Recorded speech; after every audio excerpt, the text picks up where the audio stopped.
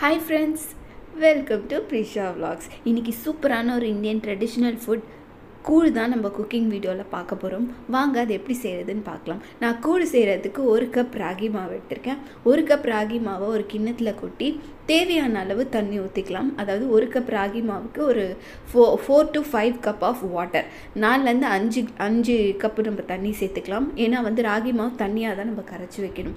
இந்த ராகி மாவை வந்துட்டு நீங்கள் எப்போ கூழ் காச போகிறீங்களோ அதுக்கு முன்னாடி நாள் நைட்டே வந்துட்டு நம்ம கரைச்சி ஒரு மூடி போட்டு மூடி வச்சிட்டோம்னா அடுத்த நாள் காலையில் நமக்கு நல்லா புளிச்சு இருக்கும்.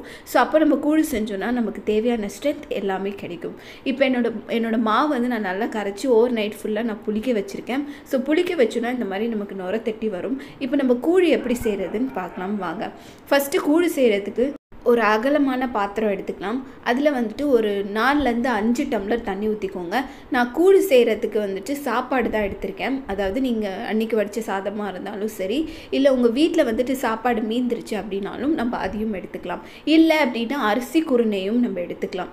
நமக்கு நமக்கு எந்த எது மாதிரி கம்ஃபர்டபிலிட்டி இருக்கோ அது மாதிரி எடுத்துக்கலாம். இப்போ நான் சாப்பாடு வந்து வேக வச்ச சாப்பாடு தான் போட்டிருக்கேன். ஒரு அஞ்சு நிமிஷம் நம்ம உப்பு போட்டு நல்லா கொதிக்க வைக்கலாம். மூடி போட்டு கொதிச்ச கொதிச்ச உடனே தான் நம்ம வந்து நம்ம புளி புளிச்ச மாவு அதாவது நம்ம முன்னாடி நாள் நைட்டே புளிக்க வச்சுருக்கோம்ல கேவர் மாவு.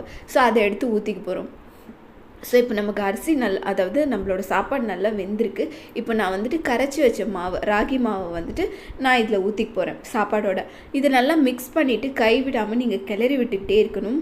கொஞ்ச நேரம் நீங்கள் விட்டிங்கன்னா கூட இது வந்து அடி பிடிக்கிற ஸ்டேஜுக்கு வந்துடும் ஸோ அதனால் நம்ம வந்து கை விடாமல் கிளறி விட்டுக்கிட்டே இருந்தோம்னா இந்த கெவர் மாவு வந்து நல்லா வெந்து கலர் மாறி வரும். கலர் மாறி வரும்போது தான் நம்ம வந்து ஸ்டவ் ஆஃப் பண்ணணும். ஸோ இது வெந்துதா இல்லையா அப்படின்றதுக்கு ஒரு ஒரு சின்ன ஒரு சீக்ரெட் இருக்குது நான் அதையும் சொல்கிறேன் ஸோ இப்போ வந்து நம்ம கிளறி விட்டுக்கிட்டே இருக்கும்போது மாவு வந்துட்டு அதாவது நம்ம கூழ் வந்துட்டு நல்லா கட்டி ஆகிட்டே வரும். ஸோ கட்டி ஆகிட்டே வரும்போது நம்ம கிளறி விட்டுக்கிட்டே இருக்கலாம். ஓரளவுக்கு நம்ம கிளறி விட்டுக்கிட்டே இருக்கணும். ஸோ இப்போது ஓரளவுக்கு நம்ம நமக்கு கூழ் வெந்துருச்சு. இப்போ இதை செக் பண்ணுறதுக்கு நம்ம கையை நினச்சிட்டு கூழை தொட்டு பார்த்தோம் அப்படின்னா சூப்பராக ஒட்டாமல் வரும்.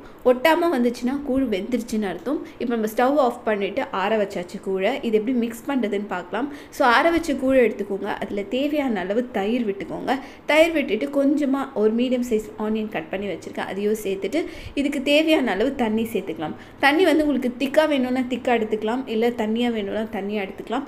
தேவையான அளவு உப்பு சேர்த்துக்கோங்க. சேர்த்துட்டு ஃபுல்லாக நம்ம கலரி எடுத்து சர்வ் பண்ணோம் அப்படின்னா வெயிலுக்கு இதமான கூல் ரெசிபி ரெடி ஸோ இது மாதிரி கூழ் நம்ம சாப்பிடும்போது உடம்புக்கு நிஜமாகவே வெயிலுக்கு ரொம்பவே குளிர்ச்சியாக இருக்கும். அடிக்கிற வெயிலுக்கு சின்ன வெங்காயம் பச்சை மிளகா வெள்ளரிக்காய் ஊறுக்காய் இந்த மாதிரி ஏதாவது சைட் டிஷ்ஷை வச்சு நம்ம சாப்பிடும்போது செம்ம டேஸ்ட்டாக இருக்கும். நீங்களும் உங்கள் வீட்டில் செஞ்சு அசத்துங்க கண்டிப்பாக உங்கள் வீட்டில் இருக்கவங்க எல்லாருக்கும் செஞ்சு கொடுங்க. அதுக்கு முன்னாடி ப்ரீஷா விளாக்ஸ் சேனலையும் மறக்காமல் சப்ஸ்கிரைப் பண்ணிக்கோங்க.